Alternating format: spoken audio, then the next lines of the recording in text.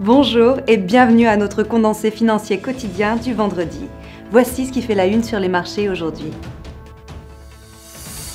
L'entreprise Nestlé SA, basée en Suisse, crée des milliers de postes et investit dans de nouvelles usines en Amérique latine, alors qu'elle essaie de régler des problèmes sociaux.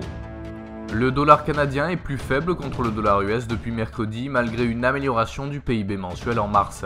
Le cours du pétrole continue de souffrir d'une saturation.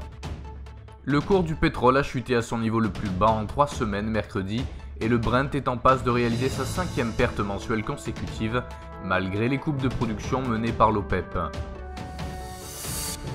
La paire livre-dollar montre des échanges légèrement négatifs même si le SSI continue de pencher fortement vers la zone de survente.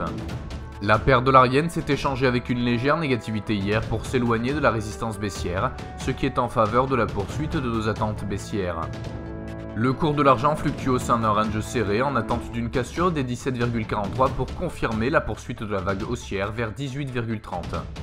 Le cours de l'or montre des échanges légèrement positifs pour commencer à dépasser le support haussier. Le taux de chômage aux États-Unis sera publié à 12h30 GMT, l'indice des prix à la production dans l'eurozone à 9h GMT, la confiance des consommateurs au Japon à 5h GMT. La productivité du travail au Canada à 12h30 GMT, les emplois non agricoles aux États-Unis à 12h30 GMT, l'indice PMI de la construction en Grande-Bretagne à 8h30 GMT.